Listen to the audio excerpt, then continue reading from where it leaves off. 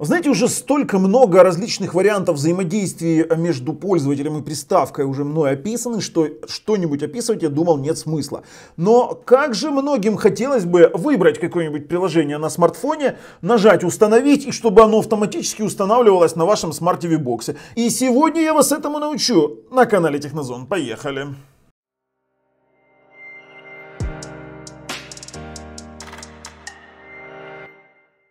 Привет, Технозон связи. Я уже вам сказал суть сегодняшнего видео. Сегодня, сегодня в видео мы научимся э, с вами устанавливать приложение со смартфона напрямую в ваш Smart TV Box. А это зачастую очень удобно, когда у вас, э, например, стоит ваш основной набор приложений на смартфоне, таких как Videobox, Lazy Media Deluxe, там, например, TorServe тот же самый. И вы просто-напросто выбираете эти все приложения, нажали установить, и они появляются в вашем Smart TV Box. Удобно для настройщиков, удобно для тех, кто очень часто настраивает какие-то, какие-то Smart TV Box, либо тех, кто использует используют в паре смартфон и TV-бокс.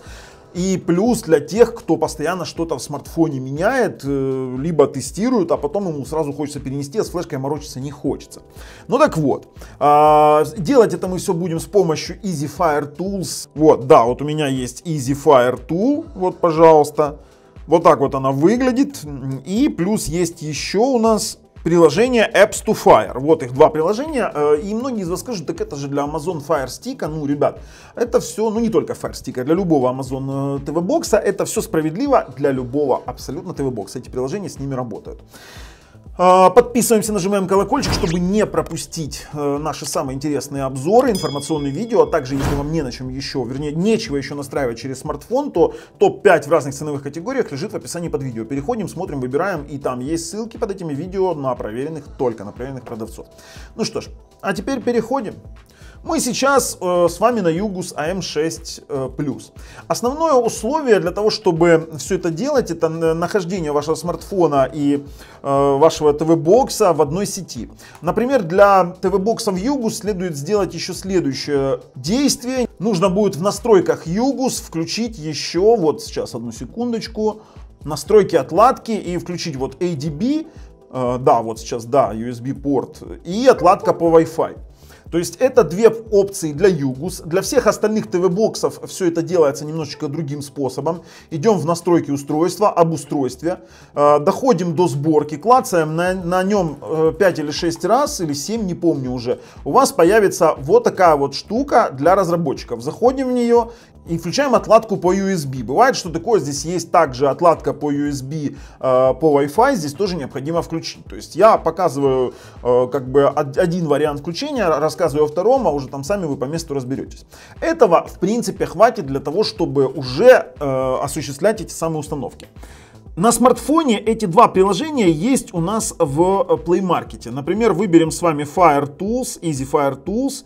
И вот у нас есть первые два э, приложения. Их я и советую, вообще советую Easy Fire Tools. Э, мы его установили, открываем. Мы видим, что у нас проинсталлировано очень огромное количество, большое количество приложений.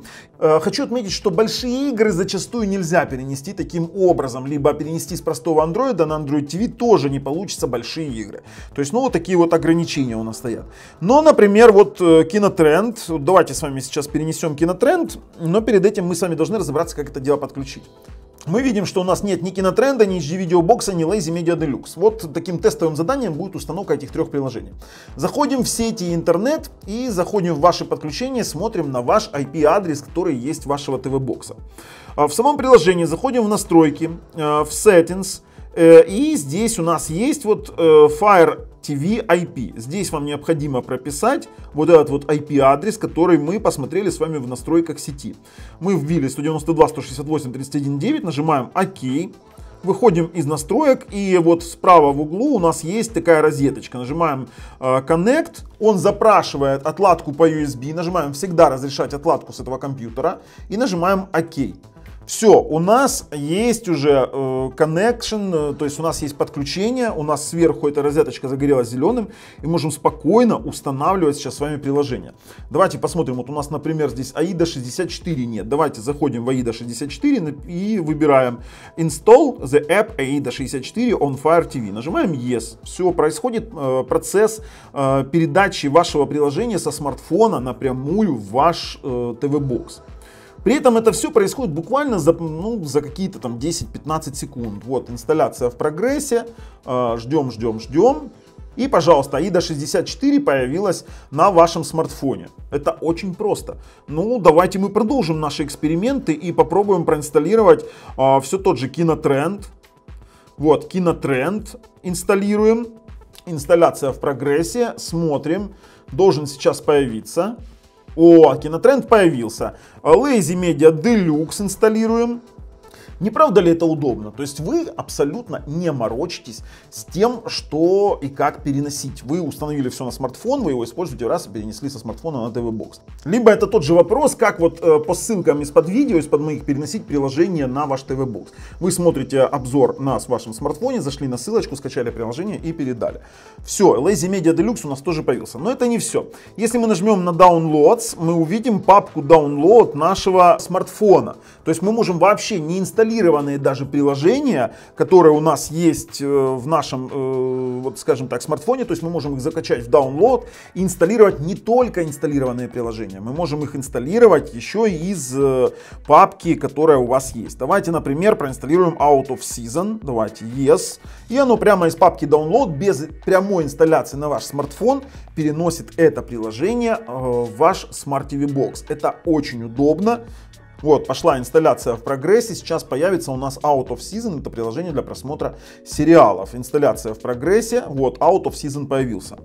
А, плюс у нас здесь есть медиацентр.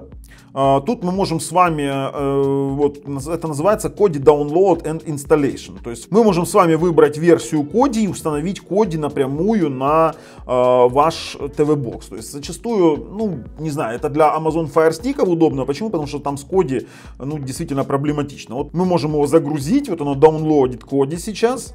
Это, кстати, для Амазона очень актуально. Коди вы и так можете установить э, на ваш Smart TV Box, но, в принципе, вот инсталляция пошла.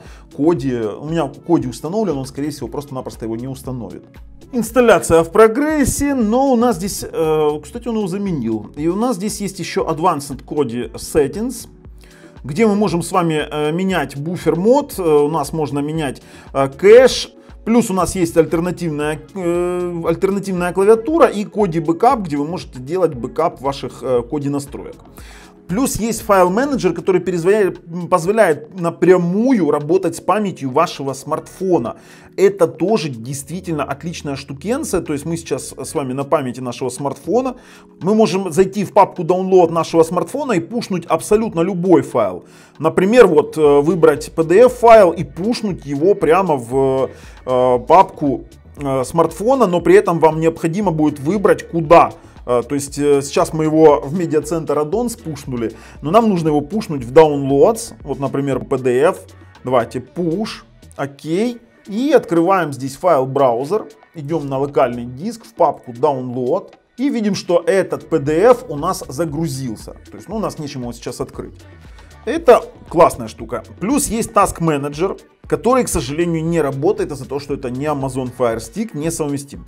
И Fire TV System Info, здесь у нас, э, ну такое, знаете, AM6 посмотреть какие-то информации, какую-то информацию о подключенном устройстве. Также у нас в Settings есть еще э, автоконнект э, к вашему э, стику при запуске я выберу. Есть у нас backup location. Э, в принципе, на этом и заканчивается а, вот, если sideload выбрать, то мы вернемся в наш инсталлированный и в download. А, на этом и заканчивается э, функционал этого приложения. Давайте вкратце посмотрим второе приложение Apps to Fire, но оно не настолько э, хорошо, как мне кажется. Давайте зайдем в настройки, в Setup и выберем здесь все те, тот же самый адрес. Я имею в виду IP-адрес, который нам необходим. Давайте 31.9 и нажмем Save он сразу коннектится к э, нашему стику, к стику, к AM6. Нажимаем ОК, проделываем тот же путь, как и в предыдущем, э, как и в предыдущем приложении. Давайте попробуем Connecting. Он законнектился и переходим. Вот Fire TV Apps мы видим, что у нас там есть. Локальные, есть фавориты. Fire TV SD карт. Вы можете посмотреть, ну, грубо говоря, э, карту этого самого AM6, но вот это не настолько расширенная штукенция, как хотелось бы. То есть вы можете также отправлять туда какие-то файлы, но вот э, предыдущее приложение EasyFire, э, вот этот вот EasyFire Tools, вот EasyFire Tools, он намного круче по функционалу, поэтому мы его и советуем. А, что ж, переходим и резюмируем сегодняшнее видео. Ребят, еще никогда не было так просто переносить приложение из вашего смартфона, из загрузок, из установленных приложений, прямо напрямую в ваш ТВ-бокс. Это решает очень много проблем. А, как, каким образом установить какое-нибудь приложение на вашем ТВ-боксе без флешки. Это действительно очень просто. И если вам нравится то, что мы делаем, ставим пальцы вверх. Если нет, пальцы вниз. Обязательно подписываемся. С вами был Bubble и Easy Fire Tools с любым смарт ТВ-боксом на канале Технозон. Пока, ребят.